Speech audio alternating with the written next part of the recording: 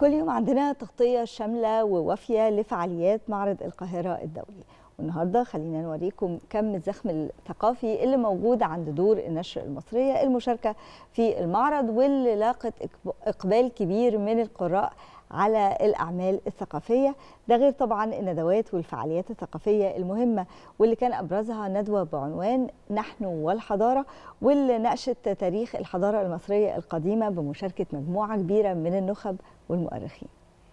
إذا كنت بتدور على مكان مناسب لقضاء إجازة نصف العام فمفيش أفضل من معرض القاهرة الدولي للكتاب اللي بيناسب كافة الأعمار من الكبار للصغار. النهاردة نخوضكم في جولة في خامس أيام فعاليات معرض القاهرة الدولي للكتاب اللي بيقام في مركز المؤتمرات في التجمع الخامس.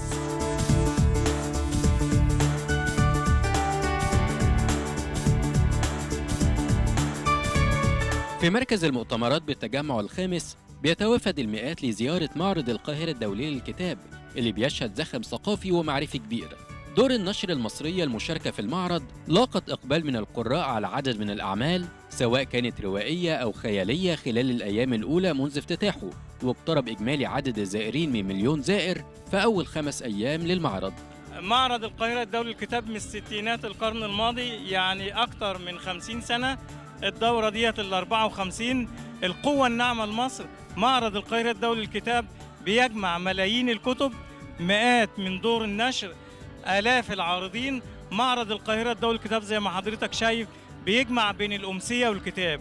معرض القاهرة الدولي للكتاب أنا ما بسموش معرض أنا بسميه متحف ثقافي بيجمع كل الكتب في. في مختلف المجالات في مكان واحد. إحنا بنجيب دور النشر ده بره مصر. أنا بالنسبة لي أنا بشتري كتب فنون فبالنسبة لي النسخ اللي هي الموجودة في مصر باللغة العربية قليلة جدا. أو باللغة الإنجليزية بتبقى غالية إن أنا أشتريها من بره مصر أو إن أنا أجيبها عن طريق شحن دولي أو عن طريق شحن حد نازل مثلا من بره مصر وكده. فبالنسبة لي دي فرصة كويسة إن المعارض الدولية بتيجي. تمام؟ دور النشر الأجنبية بقدر أشتري منها بأسعار أقل من ان أنا أجيبها من بره بالإضافة كمان لأسعار الشحن الدولي. هو والله حاجة جميلة إن مصر تكون داعمة للعلم والعلماء إن طبعا يعني المعرض مش بيجمع مصر بس بيجمع العالم كله في مكان واحد. والحمد لله يعني في كتب كتير متوفرة.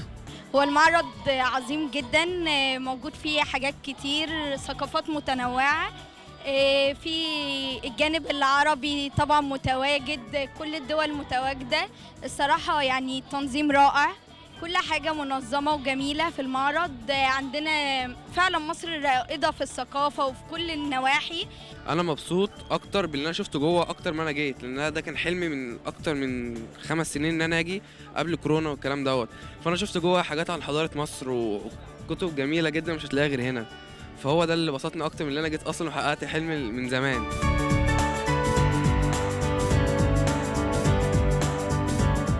كمان أقيمت عدد من الندوات والفعاليات الثقافية المهمة في اليوم الخامس واللي كان منها ندوة بعنوان نحن والحضارة واللي اتكلمت عن تاريخ الحضارة المصرية القديمة بمشاركة عدد من النخب التاريخية والمؤرخين.